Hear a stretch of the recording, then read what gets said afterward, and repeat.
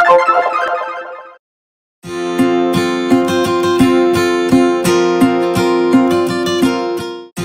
รเคลื่อนย้ายตัวผู้ป่วยผู้สูงอายุที่มีความเสี่ยงล้ม จากท่านอนหงายไปนั่งข้างเตียง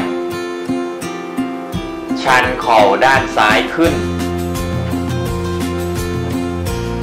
พลิกตะแคงตัวผู้ป่วยไปทางด้านขวาช้าๆ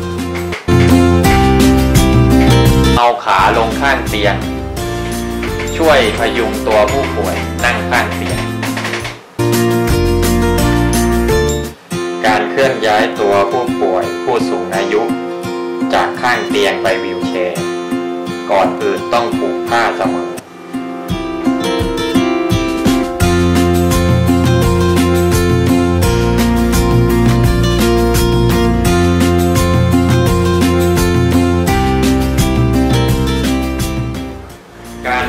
ายตัวผู้ป่วยผู้สูงอายุจากข้างเตียงไปวีลแชร์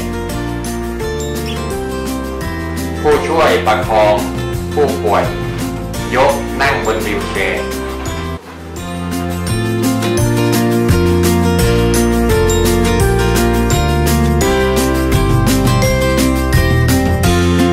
การเคลื่อนย้ายตัวผู้สูงอายุ จากวีลแชร์ไปเตียง ผู้ช่วยจับผ้าช่วยยก เอาลงเตียงช้าๆ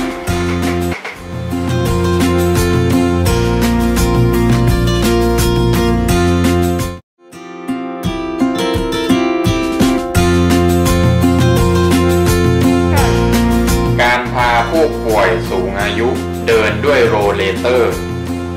ผู้ช่วยประคอง ผู้ป่วยอยู่ข้างๆขณะเดินตลอดเวลา